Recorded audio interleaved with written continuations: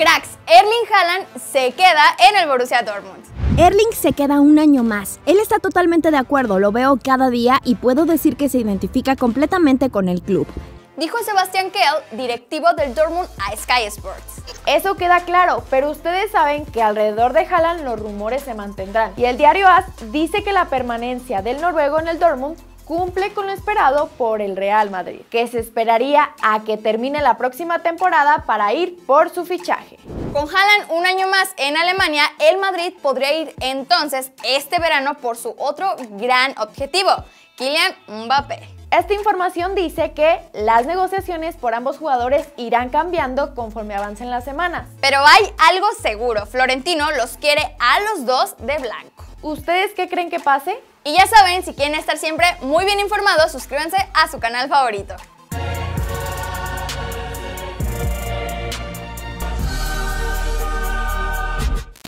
Este domingo volvimos a ver ese gran duelo entre Messi y Cristiano Ronaldo, con ambos marcando dobletes para hacer ganar a sus equipos. Esta temporada son hasta el momento los máximos goleadores de sus ligas. Messi lleva 28 en el Campeonato Español, mientras que Cristiano Ronaldo suma 27 en la Serie A, a tan solo uno del argentino. La Pulga volvió a anotar de tiro libre y consiguió su gol número 56 de esta manera, 50 con el FC Barcelona y 6 con la selección argentina. Con este gol Leo Messi está tan solo un gol de alcanzar a otro gran jugador. ¿Adivináis a quién? Pues sí, a Cristiano Ronaldo, que ha marcado 57 goles de falta a lo largo de su carrera, 47 con clubes y 10 con Portugal. Y hablando de rivalidades, aunque esta quizás sí un poquito más intensa o agresiva, el Inter de Milán es el campeón de Italia. Y por esto, Lukaku publicó una foto en sus redes sociales con el siguiente mensaje. El verdadero Dios ha coronado al rey. Ahora inclínate, rey de Milán. Esto en Italia fue interpretado como una indirecta a Zlatan Ibrahimovic, con quien Lukaku tuvo un fuerte enfrentamiento esa temporada y que como sabemos, no duda en llamarse a sí mismo como un rey o Dios. Cracks, ¿qué les parece? Cracks, Gianluigi Donnarumma no le está pasando bien en los últimos días, y es que luego de que se dijera que no renovaría con el Milan, se rumoró que la Juventus o el Paris Saint-Germain podrían ser su próximo equipo, cosa que obviamente a la afición rossoneri no le gusta. Por esto, los Ultras fueron al entrenamiento a reclamarle a Donnarumma y pedir al club que no haga jugar a Gigi contra la Juve si no renueva. Esto porque algunos creen que puede favorecer al rival. Pero, como te contamos en titulares, Donnarumma salió a dar la cara y habló con los aficionados radicales. Quiero quedarme en el Milan y decidiré yo, no hay nada con la Juventus. Esto fue lo que dijo el portero. Las noticias breves que tienes que conocer sí o sí en corto. En Holanda, el Ajax se colocó campeón. El equipo de Ámsterdam logró su título número 35 de la Eredivisie. A falta de dos partidos en Rusia, el Zenit se coronó como campeón por tercera vez consecutiva.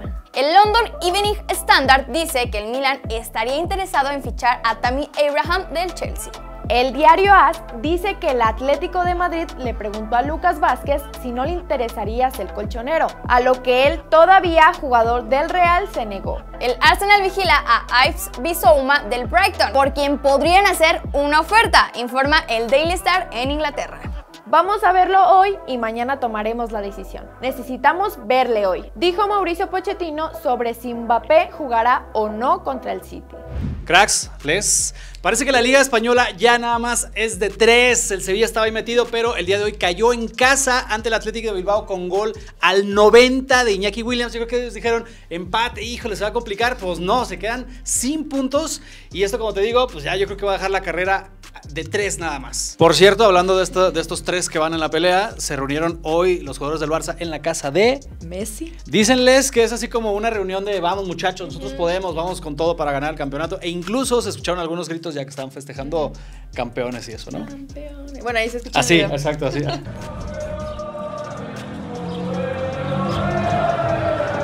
Y hay otro equipo que está buscando un campeonato, este es muy importante, es la Champions League femenil, es el Barcelona. En la semifinal derrotaron al Paris Saint Germain femenil y estas son algunas de las reacciones de las protagonistas. Eh, es verdad que ellas las dos primeras veces que llegan nos hacen gol, eh, las hemos tenido, hemos podido pasar, però bueno, pues no queda més que felicitar al Barcelona.